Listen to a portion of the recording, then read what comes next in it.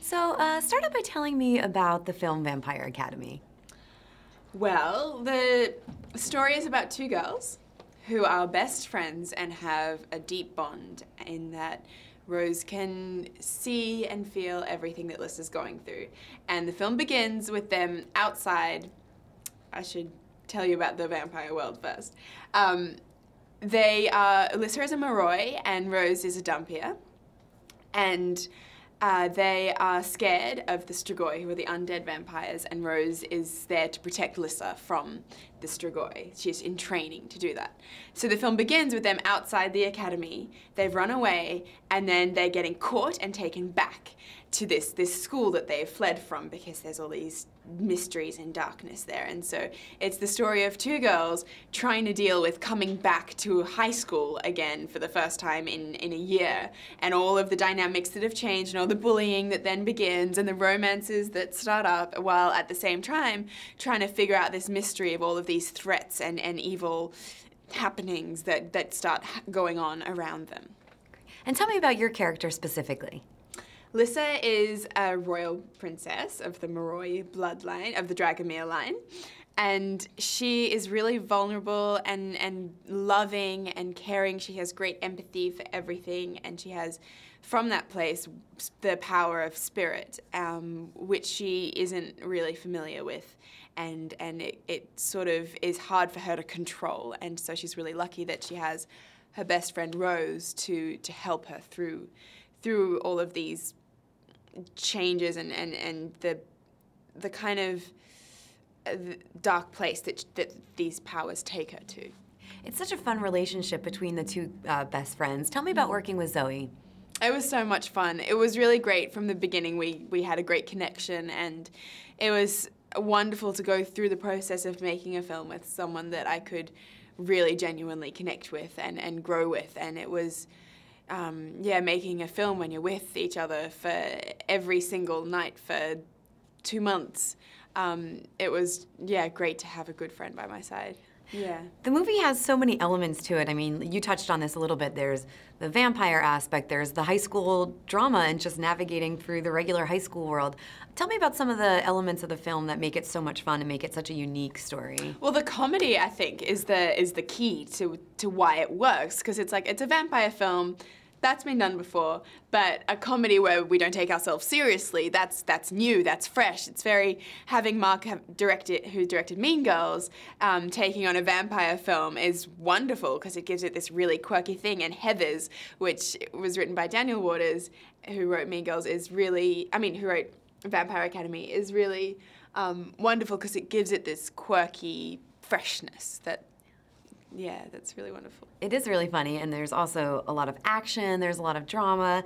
Tell me, um, let's talk about how St. Vladimir's Academy is different than a regular school. What are some of the things that people can look forward to in kind of seeing this world? Well, at St. Vladimir's Academy, if you are Moroi, you can specialize in fire power, earth power, air power, or water power. So you learn, depending on, on what your magic is, then you will learn how to use that power.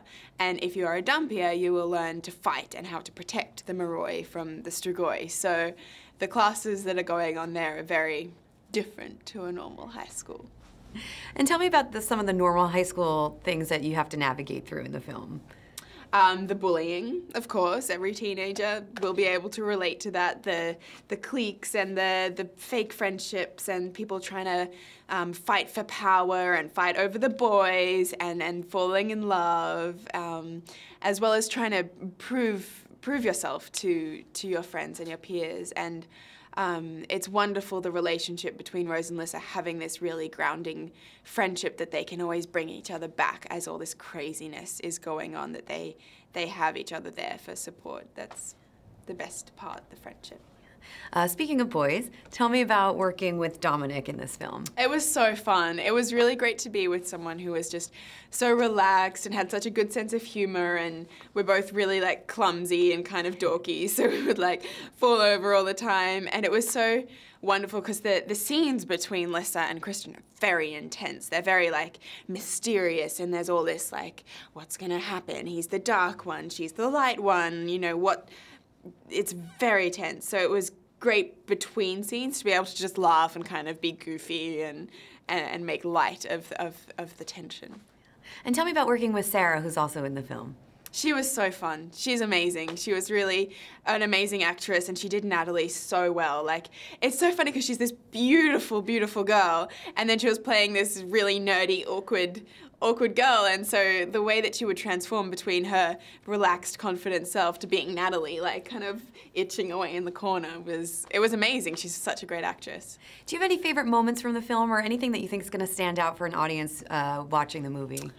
Um, one of my favorite days was the uh, the day with the Queen when there was like all the the speeches and then the big presentation, um, as well as as the action. I loved watching things explode and people fighting and flying through the air. That was really fun. Um, as well as the comedy. It's just got so much. It's hard to pick one element, and I think that's the the best thing about the film is that there is something for everyone, and you can go along and you'll just have fun watching it because you're not going to get bored of, of not that you'd ever get bored of comedy, but you, you don't get sick of that genre because then you get the mystery as well, and then you get the romance, and then you get the friendship. It's just perfectly interwoven with this this tone of kind of edgy humor. Now, it's based on books and the very popular books. What do you think fans of the story can look forward to and get excited about?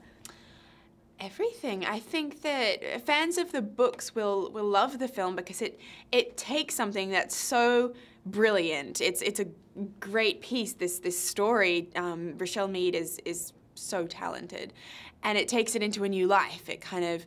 Um, when it was so great to meet Richelle on set one day, and I asked her, you know, what's it like to see all of your ideas suddenly flesh and, and blood, and she said that it was the the difference was that in her head she imagined things one way and then when it was translated into a film it was much grander like the the classroom was huge and the costumes were these beautiful like um, blazers and so I think that I hope people can be ready to see everything kind of elevated to a whole new level of, of um, excitement and intensity that um, that the movie genre can give this amazing story.